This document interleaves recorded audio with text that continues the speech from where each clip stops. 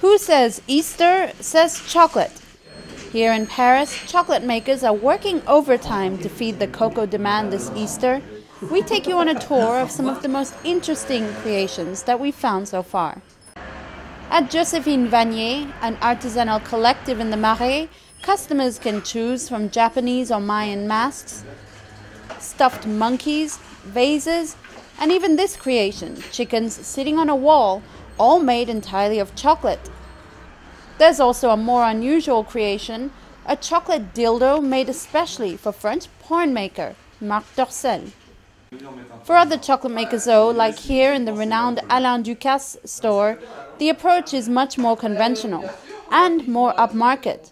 One ton of chocolate has been produced this year for creations starting from 35 euros, mostly in the form of giant stuffed Easter eggs, bells, and small fish.